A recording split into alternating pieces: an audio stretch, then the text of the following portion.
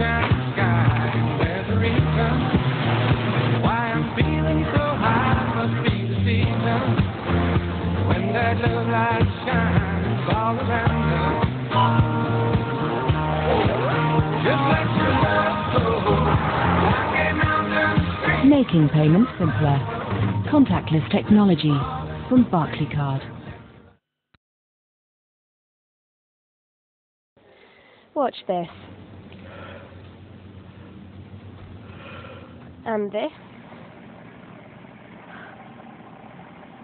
I'll be willing to bet money that you've now at least felt like having a good old yawn if you haven't done it already. We all know that yawning is contagious, but now some scientists from Birkbeck College in London have said that dogs can catch them too.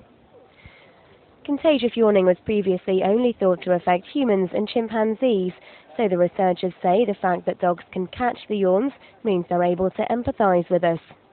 72% of the 29 dogs tested yawned after watching humans do it, which they say shows they're skilled at reading human social cues. And having watched all these yawns, I bet you're about ready for a nap.